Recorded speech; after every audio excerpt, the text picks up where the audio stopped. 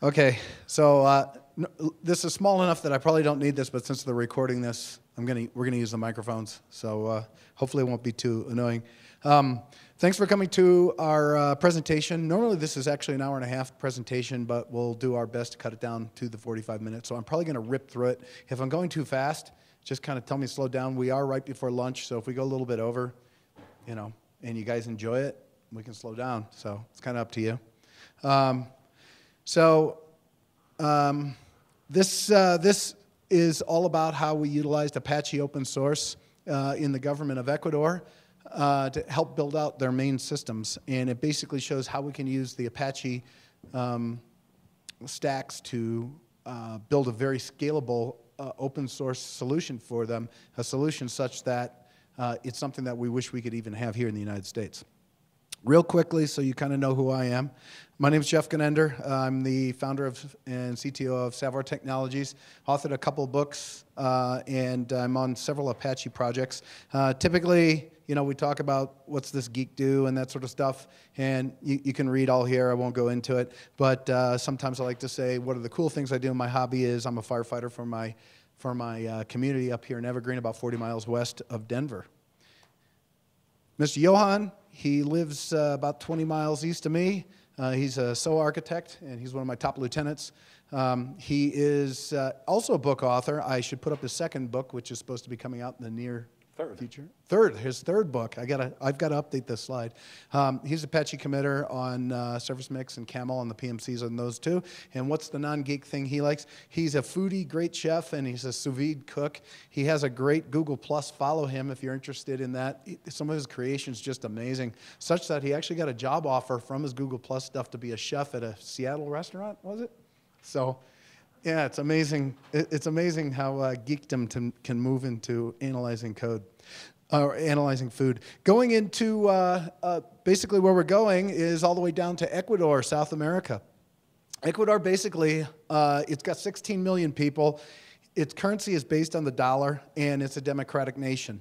Um, so it's kind of nice when you go there because you don't have to worry about uh, exchange rates when you're from the US. It works really nicely. Uh, the two biggest cities are Quito and Guayaquil. Guayaquil is probably the largest of the cities uh, and is down near the coast. Quito is up um, in the mountains. It's at, uh, at or around 10,000 feet.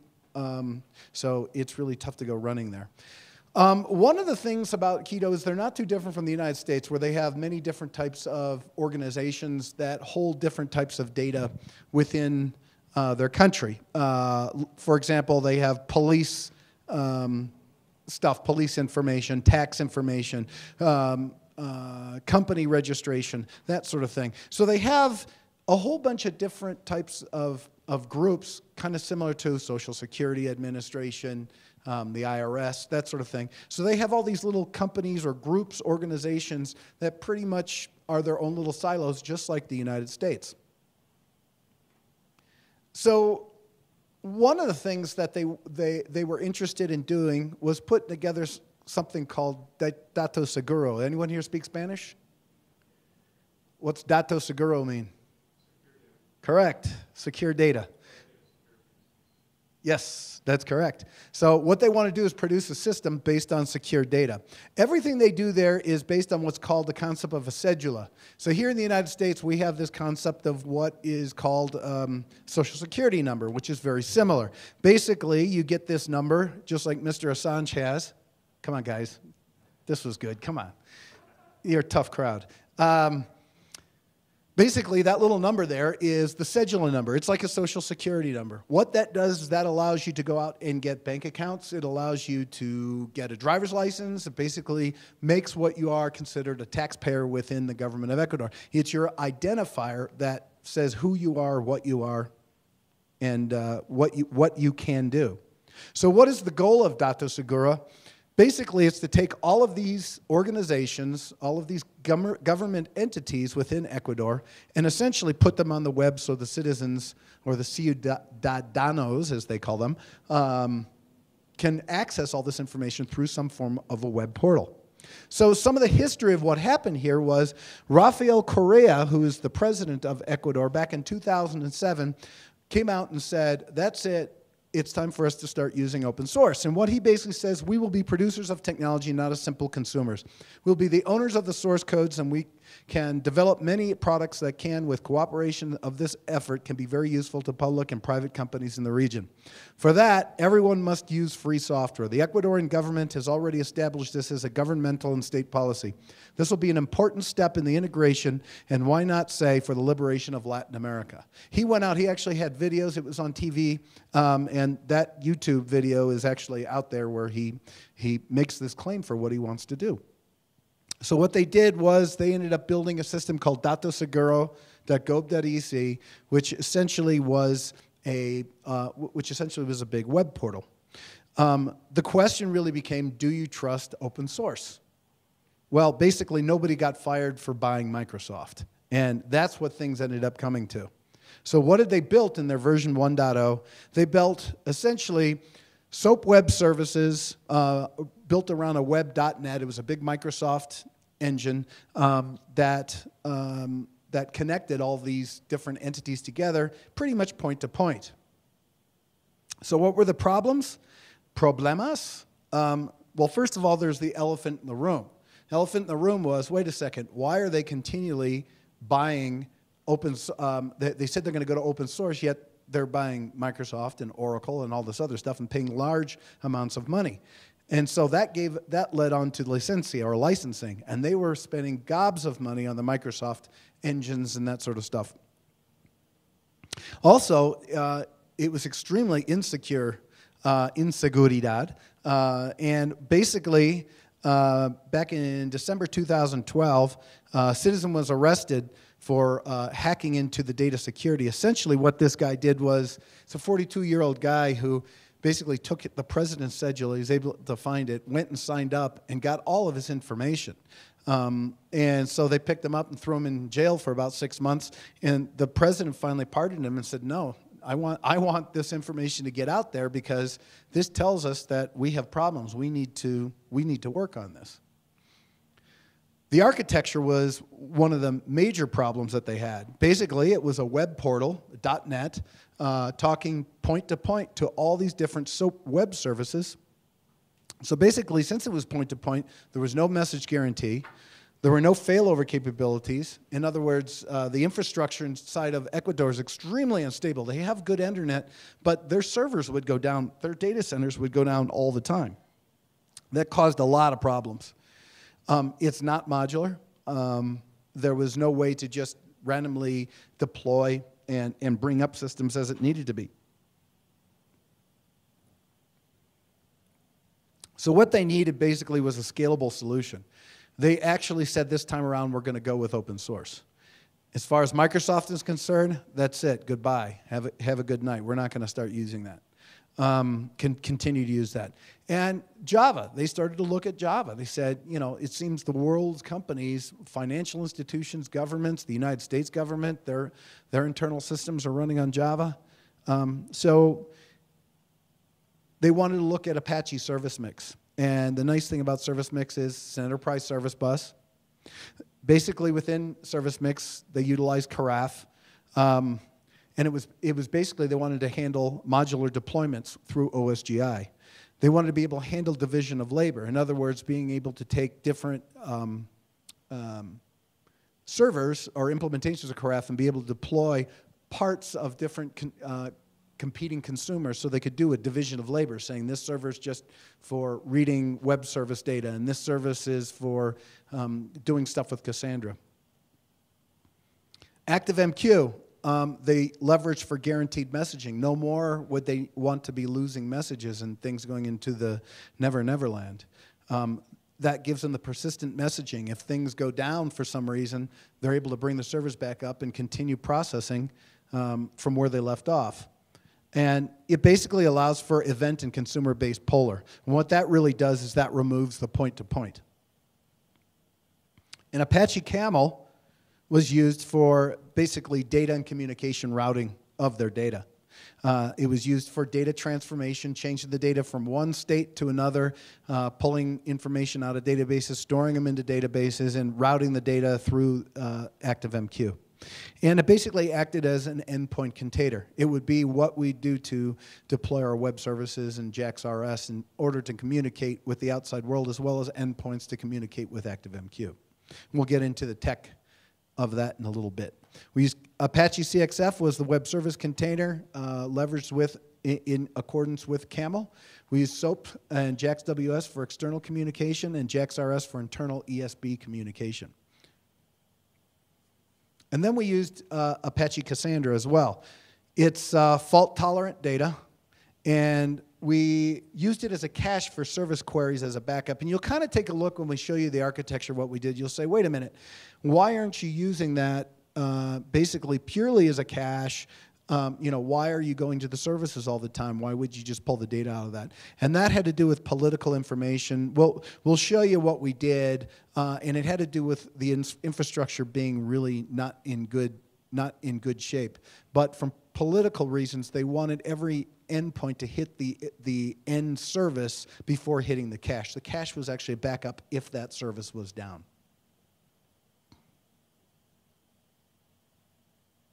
So, the solution what was the solution that we came up with?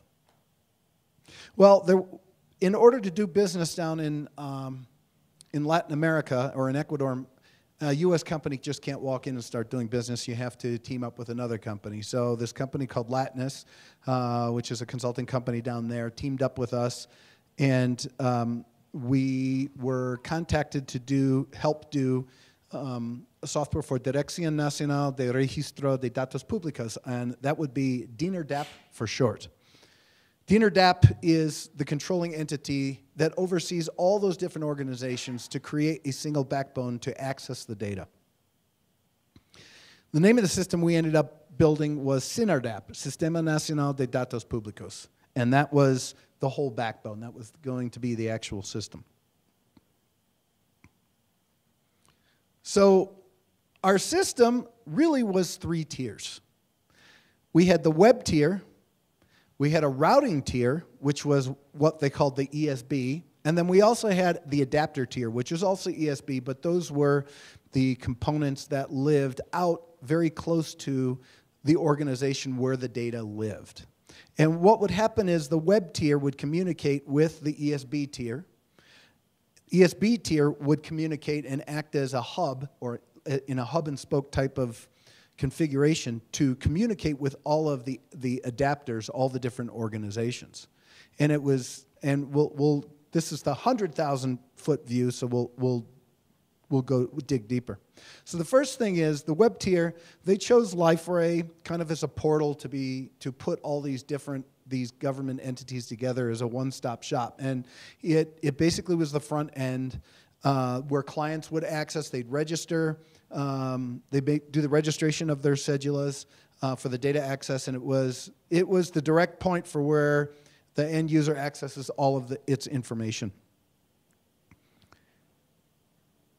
So essentially, what it looked like was the client would communicate via HTTP through an HTTPD server, and it would that that would communicate via AJP or mod proxy AJP to the Liferay containers. Liferay containers utilized LDAP, actually Open LDAP, as um, as its security mechanism to be able to register and, and look up um, the the citizens.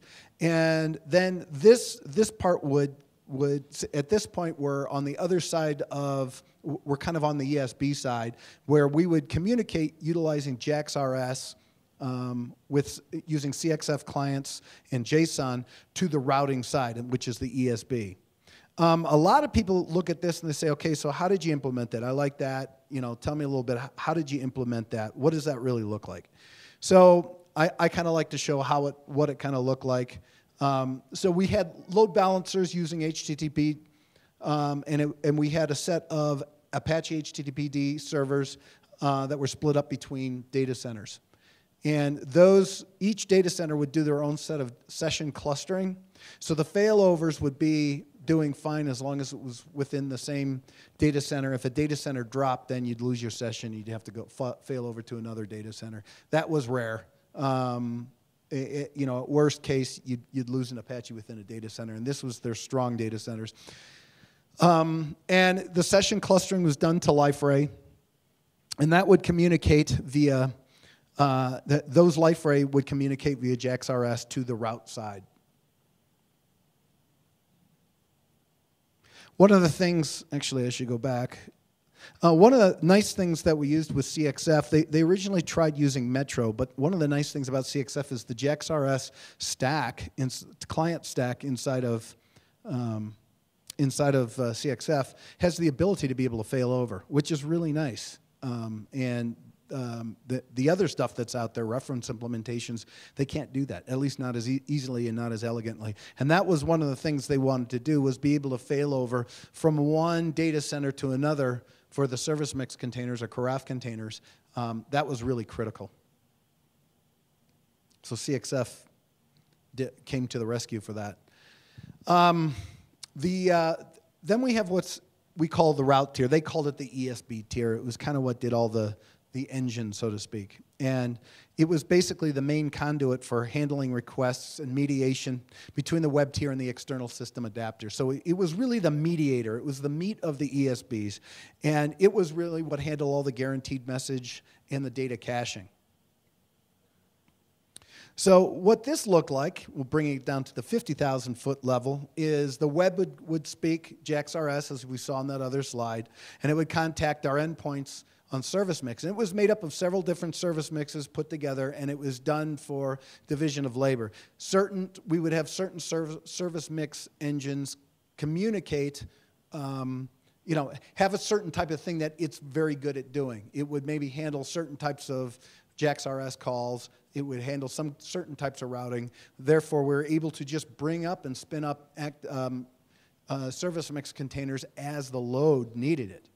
Um, these service mix containers basically would communicate, would, would utilize um, ActiveMQ for guaranteed messaging, and we had what's called a network of brokers in there that allowed for uh, that, that if something failed, um, we were able to fail over either to a slave or we were able to have high scalability of this network of brokers making several different ActiveMQs work together as a single unit.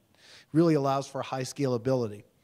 Um, we also use Cassandra basically is our data cache, and I'll show you how all that stuff works in a few minutes. Um, and then that, that would communicate with the adapters on the backside. The adapter tier, these were the adapters. These basically lived near the government service locations. The government services were all over the place. They could be uh, in Guayaquil, they'd be in Quito, they could be in many small towns. Believe it or not, there were a few in the Galapagos. Um, and um, I, I, tried to get on that gig, but uh, unfortunately I was shot down. But you, you know how that goes. Uh, I don't think I'd get very much work done there, too. Uh, these are basically endpoints that we'll take, and this is Ron, actually JAX-WS requests uh, for, the, for the government services. And um, it basically would be also the proxies to their backends data services. So we translate all of their backend web services that were non-compliant are old Microsoft SOAP 1.x RPC, which um, JAX-WS won't even work with. Um, I mean, we, we, had we, had everything from Sybase to uh, XML RPC. Oh yeah, you, it was terrible. It. Absolutely terrible. And this is kind of what that looked like. What that looked like was the route side would communicate via JAX-WS, and the reason why we use JAX-WS is we had contracts. We had to have very solid contracts because they also wanted to allow mashups. Um, to be able to leverage some of these services, not just to the ESB and not just to the front end, but they also wanted to leverage that for services. And based upon the strict data rules, um, they thought having a strong contract was the way to go. So those were JAX-WS. They actually did want to use JAX-RS in the beginning. We actually talked them out of it and explained to them why they don't want to and showed them examples of why they didn't want to and they acquiesced.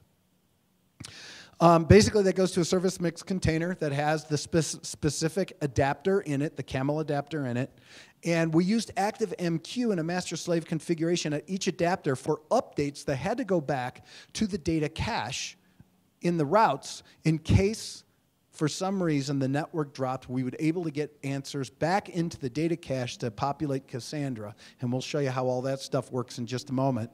Um, uh, so we did that so we would have the guaranteed delivery. Also, when there would be updates, say on the Oracle or Postgres or what whatnot, we'd want that data to be able to go back into um, the uh, into Cassandra. And if the network was down, we didn't want to lose that. So the message would an update message would go into ActiveMQ, and then every 15 seconds it would wake up and say, "Can I push it over? Can I push it over? Is the network back up?" So let's take a look at service mix. So with service mix, basically we, we leveraged Apache Karaf. I say service mix because we did what's called a bastardized service mix. We didn't want the full container. We wanted to build something a little lighter. So we take Apache Karaf, uh, basically, it was our OSGI container, and that's what provided our modularity. In other words, as we put new routes and new organizations on, we could do the deployment into service mix without having to bring down the contain container. This was a mission critical system. We did not want to be doing bringing down containers.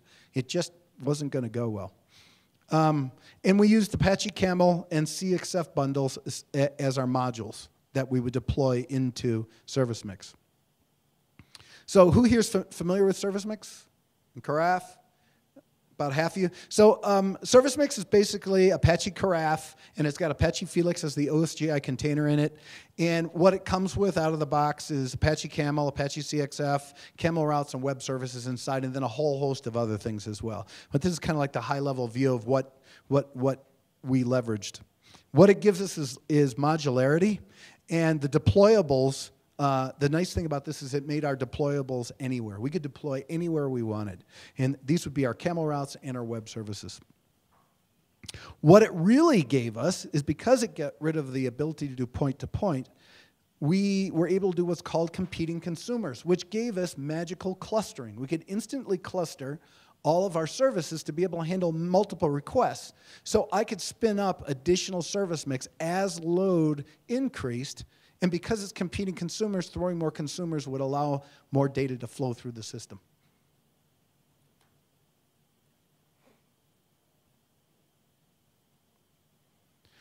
So let's take a look at our ESB tour, we'll go from 50,000 feet down to about 10,000 feet. Basically, we're using Apache Camel as our routes. Um, we use that to mediate all of our JAX-RS calls that were coming inbound from, from the web.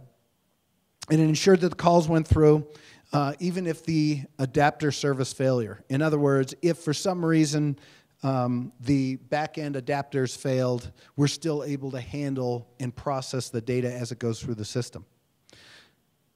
So I'm going to let, um, I'm going to have Johan kind of jump in at this stage and kind of talk about what our routes look like.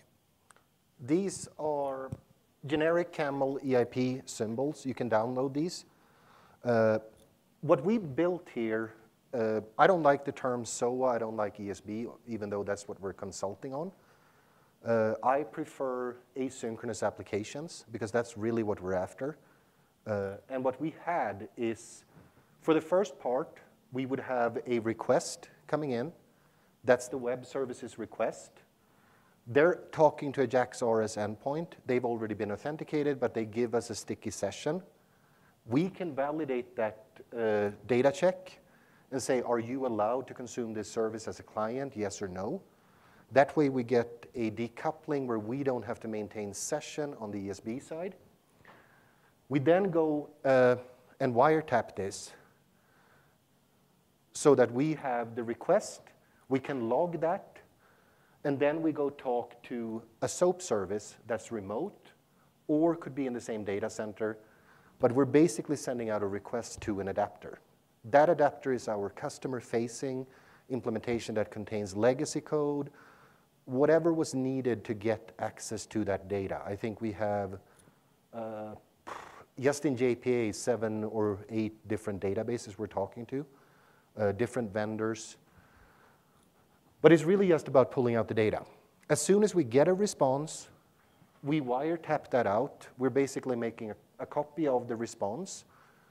We're shoving that into Cassandra. If we were to say timeout, we will go and look in Cassandra, see if we have it.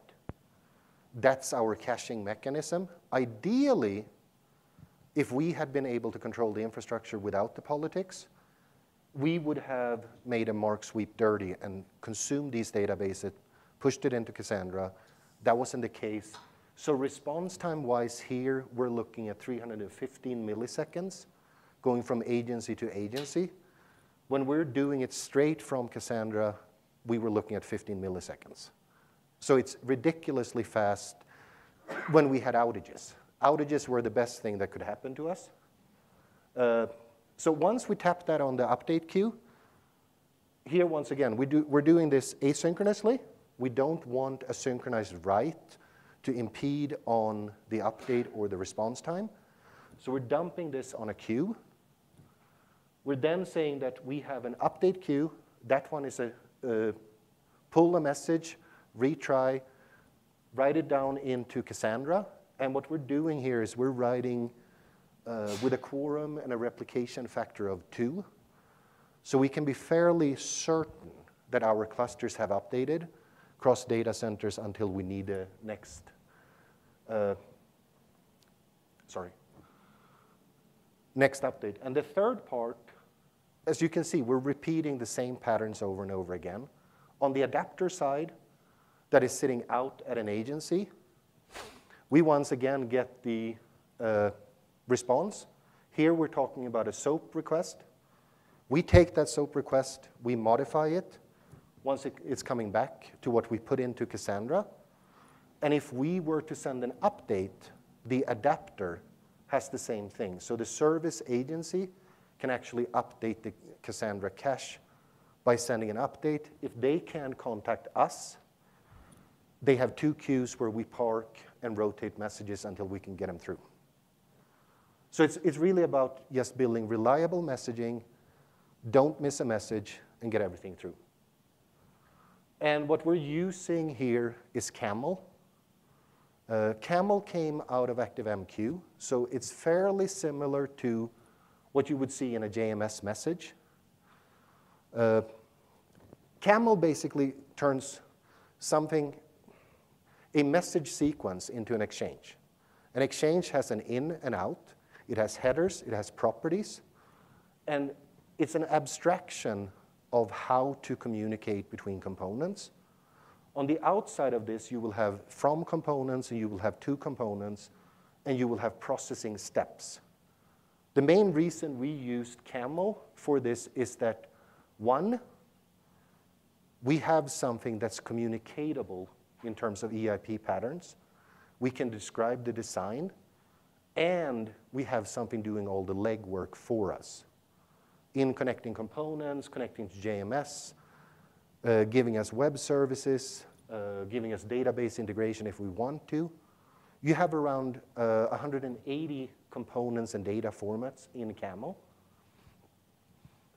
And you can describe Camel routes in XML, which I personally hate, or you can do it in the Java DSL uh, which gives you type safety.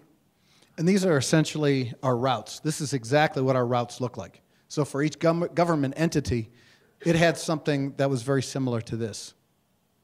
So this was it. This was it was this easy to wire things together. And that is what kind of made what we call our, our RESTful processors. Um, that's what implemented a service pool to talk to adapters. So one of the cool things that Johan put together was this, this really neat service pool with CXF. So there's overhead with creation of the services. Um, and we knew there'd be a lot of communication going back and forth. So we put together this service pool or uh, pool of CXF clients, services, to be able to communicate between the RESTful uh, part and the adapter part. Um, and the cool thing is we were able to wrap into it what was called a timeout, which was if the adapter was down, um, it would reference Cassandra. So if I couldn't communicate to a government entity, I'd go into Cassandra and say, hey, here's the cedula, do I have the information? And pass back basically the same thing, the same payload. And Johan, go ahead and I can zoom in as you need. Well, can you read? Oh. So the idea here is that we made a very generic type of processor. Uh, we know that we're going to ship a payload or we're going to receive a payload. That's the SOAP services we have.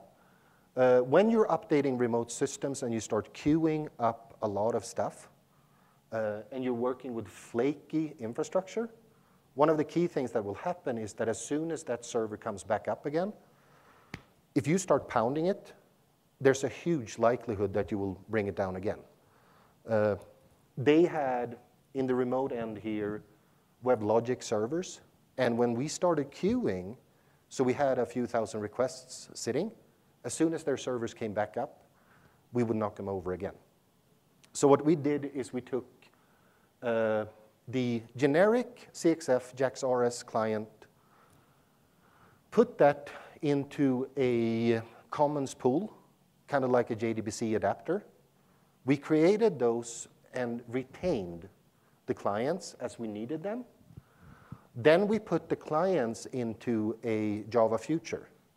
That future we could mark as down. We could give it conditionals. We could say, don't even try this one. Just say, I'm done, give us a null back, and we'll go look in Cassandra. That combined with two queues allowed us to say, if I'm down, this message that's coming through, just park it here. Then we'll go try in a few minutes and see if we can send one message. If we can send one message, start queuing the remaining messages with a 15 second interval. That way we could accommodate downtime, we could queue up messages, and we could guarantee message delivery because we're just constantly going to loop over and over making sure that these messages go through. And the cool thing about this was so the first guy through, if he's down, he marks it down, and everyone behind him says, We're going to Cassandra. They won't even try. And then every 15 seconds, would say, okay, go ahead, you can try. One guy tries, he'll get a five second timeout.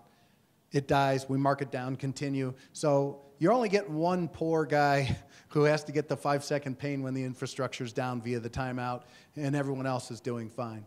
So what that does is that allows the flow to go through. As soon as that first guy can connect, then he opens it up and the floodgates can continue through. And it worked really, really well. And this is kind of the code snippet for what we used as far as you know if if if it was down if we got a timeout exception we would go to we would go to cassandra and pick that data up out of cassandra um, and it was really great he, he really put some good stuff and here at the very end you can see here we're, we're checking out of the pool at the very end we check it back in the, the cxf client back into the pool and that worked really nice as far as overhead was concerned making reuse of these clients just really worked well Okay, so that was the ESB tier. Let's take a look now at the adapter tier. The, again, this is the tier that was close to the government um, entities. Basically, um, all the adapters in, inside of Service Mix there were uh, Apache Camel routes. Uh, each company or organization has its own service. Um, so each government entity was at their location, it was their very own service. Um, and it was close to their own data centers. It lived within the data centers of the government entity. And uh, it basically was the mediator between a JAX WS call and the backend company DataSync. And like Johan said before, it could be anything a Sybase, um, uh, an old Microsoft .NET, some PHP stuff, SOAP RPC, all sorts of stuff. We really had to write a lot of stuff. So go ahead, Johan. Same thing here. Uh, you can see the same type of pattern. So what we did here is that we got a call in. Uh, that's a request reply. We started out using SEDA there. We actually migrated that later to ActiveMQ. So we would have an asynchronous request reply if we had multiple adapters sitting out on the site. Depending on the size of these ones, like the police systems, uh, for some reason, people have a lot of police records. We ended up having three adapters sitting talking to the uh, Policia databases. Uh, it's interesting because everything is integrated. So we could actually, and they don't have testing data, so we could actually see our passport and entry into Ecuador when we were playing around with this data. Uh, anyways, so this comes in. We go look in the database or SOAP endpoint, or in some cases, I think it was actually a flat file that they were provisioning. That's the request reply route. Then we have uh, once we started getting performance out of this, and they saw this, they saw the response times on Cassandra, a second project actually came about for us to start allowing updates. And that was from the remote side updating into the cache. That one became basically turn around the request we're doing, give us the same data set that we're storing in Cassandra, but provide us with an update uh, key, provide us with an update timestamp so we can compare the data and show us what the differences are. Same thing there. We get the request. That request we put on ActiveMQ directly. Then we use the same client that we were using in the ESB, uh, wrap that in a pool, put that client to listen to a queue, go see if I can contact the ESB. As soon as I can contact the ESB, I'll ship the message. If I get a 200 OK, I get everything through. We release the message. Otherwise, we put it back on a failure queue. We say this one has failed. We start polling the update. So it was really fault tolerant. It really, any time that the infrastructure was down, we would really be able to being sure that the uh, uh, and understanding that we would be able to push the updates back over to the ESB. The, the critical component here was the database. There was a couple of interesting things to note. We use JPA connectivity for the database. Uh, because we had so many different databases, we needed uh, rapid development and we needed rapid generics for using CRUD. So essentially, we basically use the concept of a generic DAO. I'm sure who here has used these before? generic DAOs? Few of you. The whole nice thing about this is by putting together a generic DAO interface, it allows you to create CRUD with almost no code once you put it together. So I have an interface that has create, read, update, deletes with, um, with templates passed through. And then my implementation is called a generic JPA DAO. So in here, I, in, I inject my entity manager, and I'm able to actually do the actual calls, the EM persist, EM find, and with that, just by doing that, this is how simple it is. Basically, I, I have a DAO implementation that extends my generic DAO. Hopefully, you guys can read that. Can you guys see that? And it's real simple. Essentially, the minimum thing I need is just the constructor. That's it. Now I have full CRUD being able to go into it, into the uh, database. And what's cool is, let's assume that I wanted a specific query. Well, then I can just add it in here. I can just add the, the, specific query like get by ID, and I can actually put my own specific query. But I have basic CRUD. That allows us, allowed us to do extremely rapid development utilizing JPA to the backend database.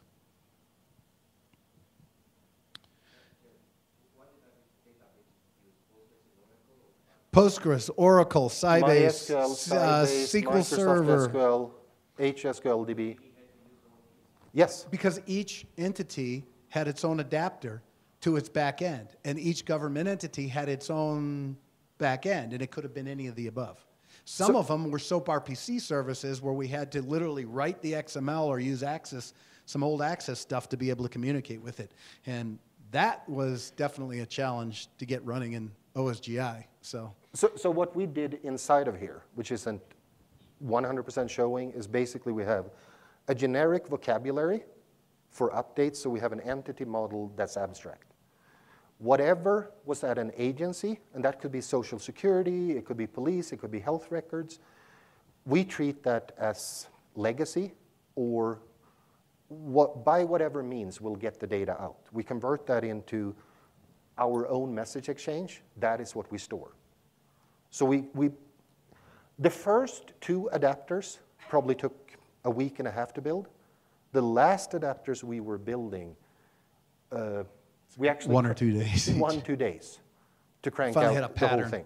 Factory patterns and that sort of stuff. We finally got it down to almost like a, and, an and engine. this is really uh, since it was a government project. I mean, I think we could have done Obamacare better. Uh, we're talking about integrating every service they had, and where we got a lot of help in the politics from Latinus was communicating, defining a contract, uh, going through what data could be processed, what was legally correct. Uh, all of this is publicly available data, but it's a data aggregation project. And this pattern that we just showed you, that was so successful, t- two or three additional clients thereafter, we've put the same thing into place, uh, which is really cool. So, And it's, it's nothing, it's not rocket surgery, it's nothing complicated, it's asynchronous applications. Which is really the magic of making this work and scalable. Yes.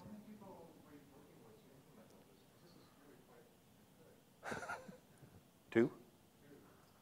We didn't do the web piece. That was done by the Latinus folks. They were struggling to be able to do. That's why they even reached out to us. They were struggling with the OSGI containers. They couldn't. Uh, so we, we went in there. We single-handedly did it in about what six months. Everything.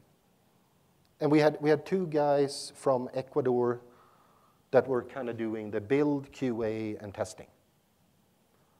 And our stuff, we, we, we did test-driven development with unit tests and everything.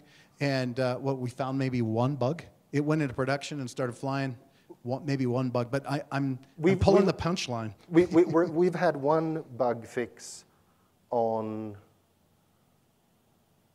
I think I was actually setting a timestamp as a string, which confused uh, things and it was stupid. That's the only update bug we. This isn't hard. This is more of a conceptual thing. Uh, the same patterns can be used to build pretty much any application. If you think about ActiveMQ, the queuing, if you've done Swing application development, that's your EDT. Everything we do are just components.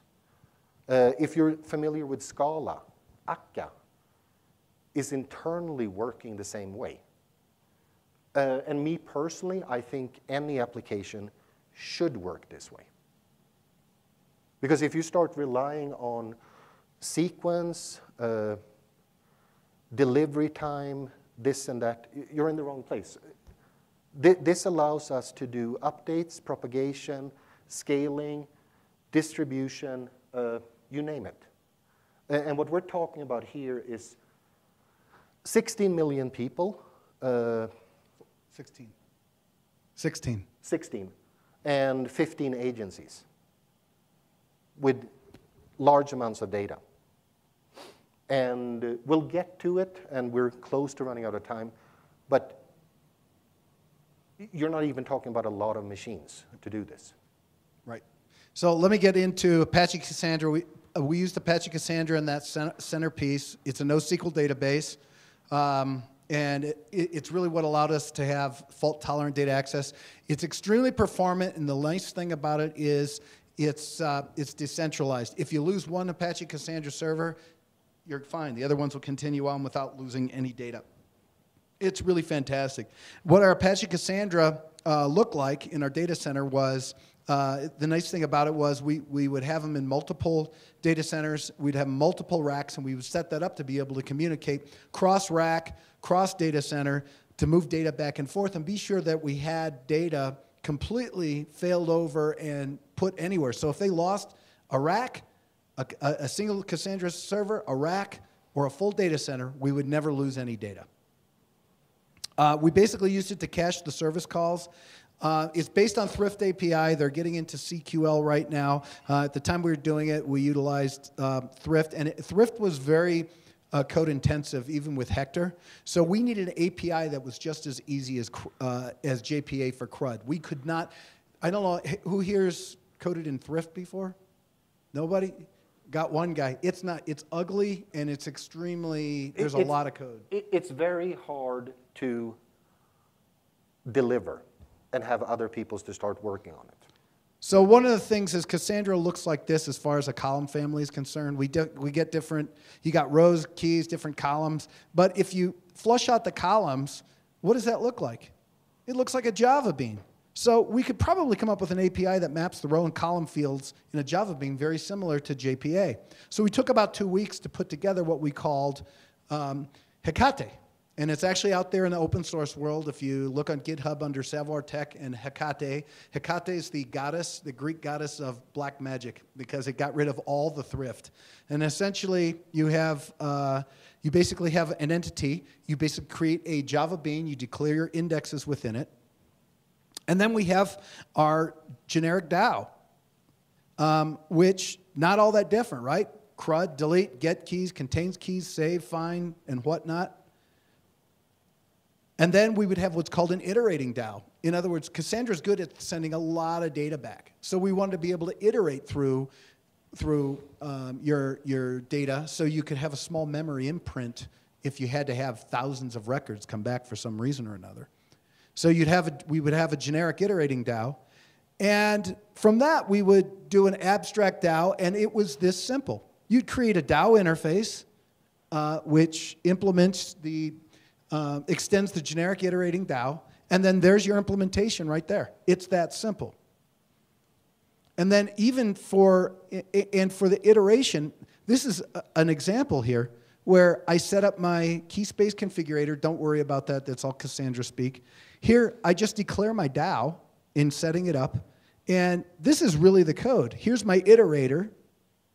Let me make it smaller. Here's my iterator where I do a find and do a lookup, and then I iterate through each of my columns. I mean, and, and it's that easy. All of a sudden, if anyone has used Thrift, it's pretty hardcore. And then this is how easy it is. The stuff in blue, this is how easy it is to use the bean, the bean mapper. Get the OSGI service, utilize the DAO. Those components in the blue are, are is basically doing a save. It does a lookup, uh, it does a find, it does a delete, and does a find again. Very, very little code. The last piece in all of this is ActiveMQ. We used ActiveMQ for JMS. It was a persistent messaging platform, and it removed our point to point. Everything was consumer-based polling strategy. And essentially, this is what it looked like. Each one of the camel clients would communicate to a different to, to a master slave in in data centers. The data centers could be configured both internally and externally in a network of brokers. What that did was it allowed consumers to go from one data center to another depending upon what the failover. So this camel client here on the left if that master active MQ went down, it would fail over internally to the slave in that data center. If that entire data center went down, it could go over to the second data center and utilize the master slaves over there. Same thing with the camel clients over here. In order to go either side, um, it will do a master slave in data center two and then fail over to the, to, to one of the other data centers. And it worked very well. We used the failover transport and it allows for massive scaling, uh, and we could continually add on broker nodes and continue to scale out as, as, um, as time went on. And it allowed, between the different data centers, the messages flow freely. Um, it allows for consumer-based polling. There's no point-to-point. -point. All each camel endpoint needs to do is send into ActiveMQ and the other one reads it out. It doesn't need to know where the destination is. No point to point, and that's what allows for loosely coupling producers and consumers. And it also enabled uh, competing consumers as well. So that's pretty much what the system was. What was the result? We were able to handle over 40 million transactions per day. Actually, I think we could handle a lot more, and that was only with a handful of service mixes. Th that was the only thing it was tested for. Yeah. we, was, we don't know where this is going to We really think we could have done probably five or six times that. Um, it allowed for full failover, um, and we were able to process transaction while almost any endpoint server was down. There were no single points of failure in this architecture whatsoever. And the Ecuadorian government, they found this to be so successful uh, uh, that uh, they, they came out and said it was a tribute to Java and leveraging open source. They want all of their systems to go in that direction. And this system has actually become a poster child for other Latin American countries. Uh, Chile, Peru, and Colombia are now reaching out to us to examine their own internal systems to create their own initiative for this. So this has been, really been quite uh, a success. And um, it's just been, it's been fantastic down there. It's been one of the best. They said it was probably the most successful software implementations they've ever done. And the beautiful thing was it was all done on Apache open source.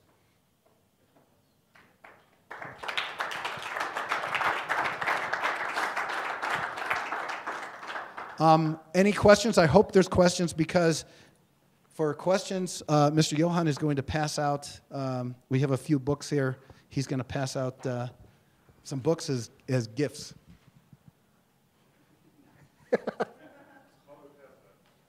I'm sorry? Test it? The whole stack can be run in a unit test. Sorry? Uh, they used uh, JMeter and traffic generator and had, uh, I think, 30 Amazon instances going against it. So you said uh, Camel has Camel Company and stuff like that. So you said you could see your NQD sign on that. Can you filter out the less warrants? Because that would be a very nice business to get. We, we, we weren't allowed to filter out anything. Yes. Um, quite honestly, um, when they tested, uh, it was actually with production data. They didn't give us test data. So you could, we were actually having fun with the guys uh, around there. I was like, give me your cedula. Let me see if you got a police record. It's funny, a couple of them said they wouldn't do it. Um, and then I said, well, what would happen if I put a type P here and I put my passport, my US passport in there? So I did that, sure enough, all my exit and entries came up in the police database. So it was really kind of cool. I actually had a, I actually had a little record in there. Uh, Just quickly, um, now that you've uh, left this particular project behind and you're going elsewhere, what are the Ecuadorian people doing to keep it up or to maintain it or to act with? Or how do they, how did this so-called community that was presumably developed by your activity engage with this? We mentored uh, a team of developers down there. In fact, actually, the government hired one of the guys from Latinus who we who we mentored. He's actually the manager of a team there. So we mentored them, and we put together a good um, snapshot on how to put these together. So it got down where it was almost template-like code on here's what you need to do. You do this, you do this, you do this. Be sure you do this. And as long as they followed those templates, um, they were able to do it and produce it. And they, they have added on uh, a few extra services since we've left. Uh, I just had a question to you. I mean, you know, you have all this architecture, and I don't know how long ago you built it. What about like infrastructure as a service style stuff, you know, like the cloud stack, the world where you're ready to start cloud stack, or OpenStack? How, how would that, did that play This was actually deployed on Amazon and VM. So they had two data centers. Uh, we weren't involved in the Puppet deployment or things like that.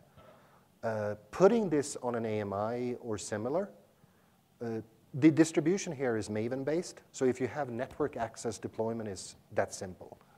Uh, traditionally, you can do this with OpenStack, you can do it with Puppet, you can do it with Chef, you can do it with JClouds. Uh, there's nothing in this design that hinders cloud. Yeah, I- Just as a caveat to that would be, you have that layer, and then you could swap out your, you know, your data set- center infrastructure. Absolutely. 100%. The, the, I, I'd say the only thing you would have to look at, what is IO intensive, uh, like for Cassandra?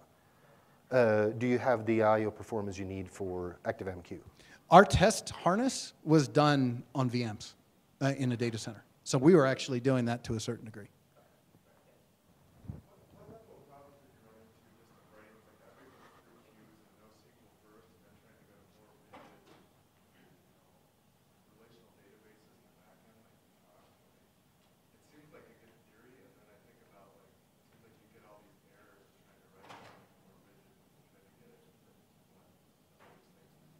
Uh, it's, it's a trade-off because uh, that whole, when, when you start arguing that Cassandra is eventually consistent, that depends on how you insert.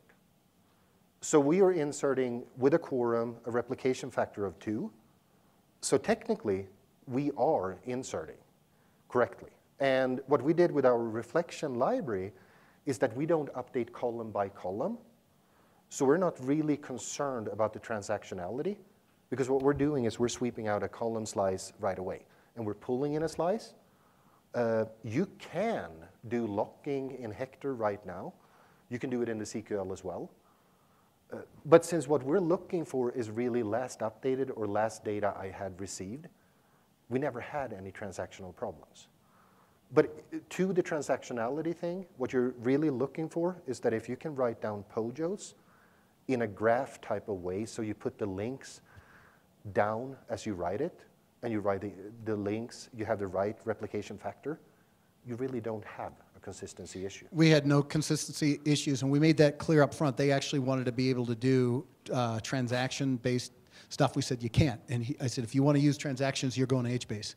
Um, you, uh, you can't do it. I said if you want to do you know business If you want to do, you know, business reporting stuff, we can do that for you. I said, but if you're going to do locks for concurrent updates, it's not going to happen. I said, it's got to be optimistic. Based on the fact that this was done as a cache, that works. You don't need transactions.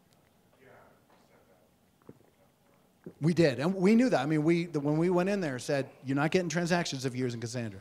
Now we could have harnessed up Zookeeper and did something, and then I then I would have looked at him and said, why don't we just go to a regular database, right? So, you know, But, but, but there's several ways you can do it. I mean, I've added to Hecate, so uh, data stack pissed me off, so I added a Lucene uh, directory for Cassandra, so we can start doing that. Normal ways is that you do external indexing. So you put an index outside. Once you've written to that index, you can say, "Ah, okay, I've committed correctly to Cassandra. You get data consistency.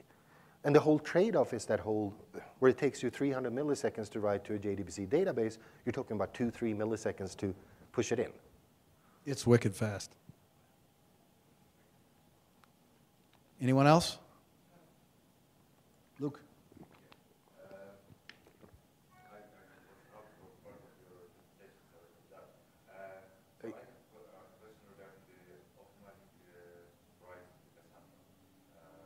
Are you using uh, some sort of things like such as the computer or you do a single write?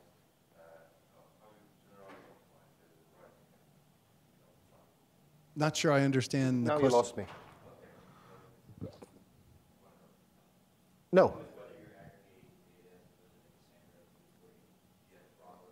We don't, we don't need to aggregate. We're queuing data for the writes on ActiveMQ. That's then written down.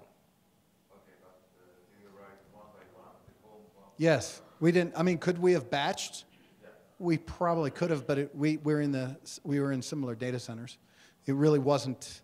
It, they were close, so there wasn't a huge need to have to batch. Could we have? Yes. Yes, Did we need to? No. It had no. There was almost no impact. Because keep in mind also, it was done. If you recall the route, it was an update route on a wiretap. We didn't care. Once it got an active MQ and started writing, we didn't care. There was some other machine who who would pick it up and say, "Oh, I've got I've got work to do. I need to shove in Cassandra." There was no. It, it- wasn't something that created dependence on I/O time. So it really made no difference.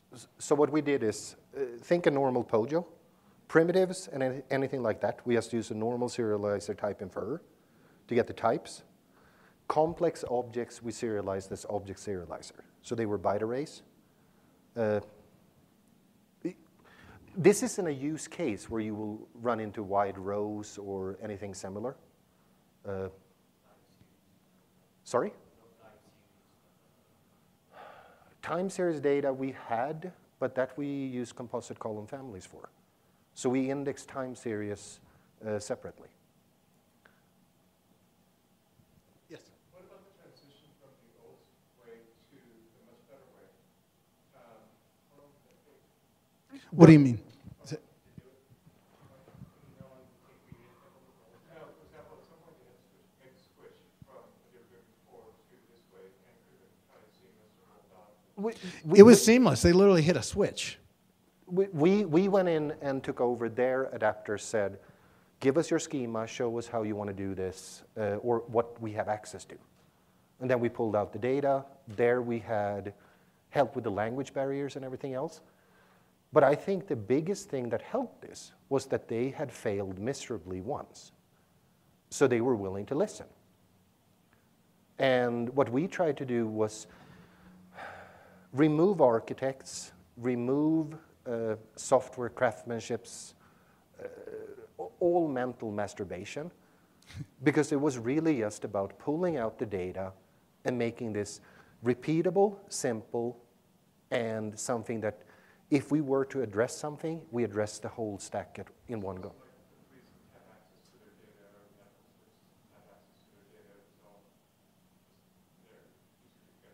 No, it, it depended on the agency. Some of them had firewalls, DMZ zones, data replication part out of this. But it was really, we treated it like a EDI or business to business case scenario because these services, these agencies benefited from making this data public. It led to reduction in workforce, they could do 24/7 information services. Uh, So everything is a give and take. You, you need to present them with something that they benefit from. That doesn't mean that they have to do an insane amount of work. Anyone else? Nope. Okay, thank you very much. Thank you.